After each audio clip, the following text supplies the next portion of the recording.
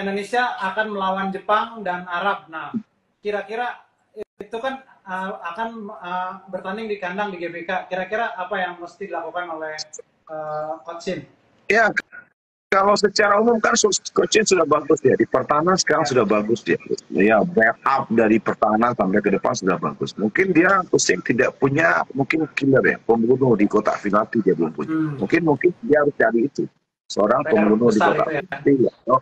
Zaman kita ada Buas Selosa, ada Bambang Pamungkas yang punya heading bagus ketika bola tinggi, atau Buas yang punya shooting bagus, sentuh pertahanan bagus, ya kayak, kayak gitu harus dicari.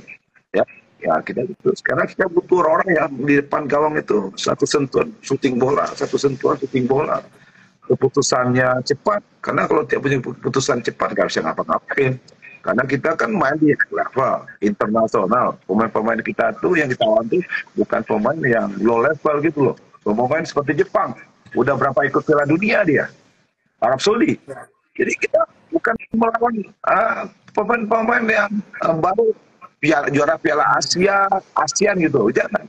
Jadi cara berpikir mereka tuh sudah high level juga. Kalau kita bisa all level kapan kita mau menang?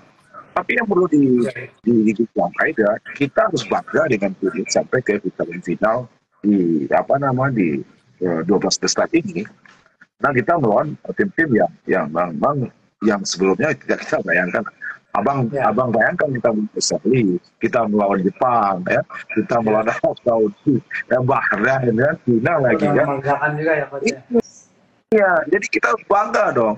Ah, bagaimana nanti melawan Jepang dengan taktika strategi yang kita punya, kita bisa menang pertandingan itu luar biasa. Tapi itu tidak mungkin, tidak ada tidak mungkin lah.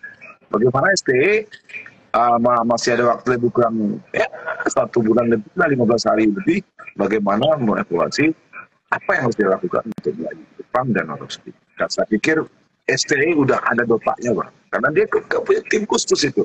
Ada analisis taktikal, ada pelatih fisik, itu yeah. punya. Ya, dia punya experience Piala Dunia. Jadi kita serahkan aja dia dan kita percaya supaya uh, Indonesia bisa menang